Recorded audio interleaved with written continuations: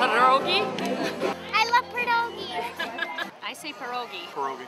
Well, we say Pierogi Fest, but if you really want to say it correct, you have to have your tongue roll on the on the uh, G. Pierogi Fest. Pierogi Fest. Polish people, they know everything about everybody. It's the most important thing. They love family, they love to laugh, and they love to be at the Pierogi Fest here in Whiting, Indiana. Well, Pierogi Fest, this is our 15th year. It is a uh, food festival.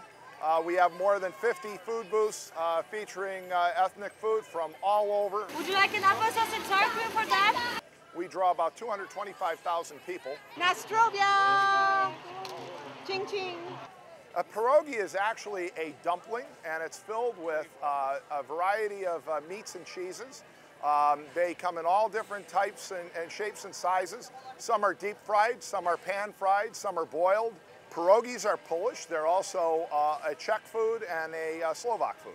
Well, we make them with dough and whatever the filling is, meat, cheese, potato, or kraut. Potato and cheddar, potato and sweet cheese, mushroom. It's an old uh, family recipe from my great-grandma, Koshinski in Polish, Kaczynski if you say it the American way. We have delightful pastries from Chicago. It has some of the best pastries you'll ever find. We have buttery bacon buns. It's a buttery, eggy yeast roll filled with fried bacon and sauteed onion. We brush butter on top of them and we serve them hot. So what's on your head there? A babushka. It's the mandatory uniform. Check out my dad, he's got one too. No matter where you're from, no matter who you are, you can come down here and you can have fun.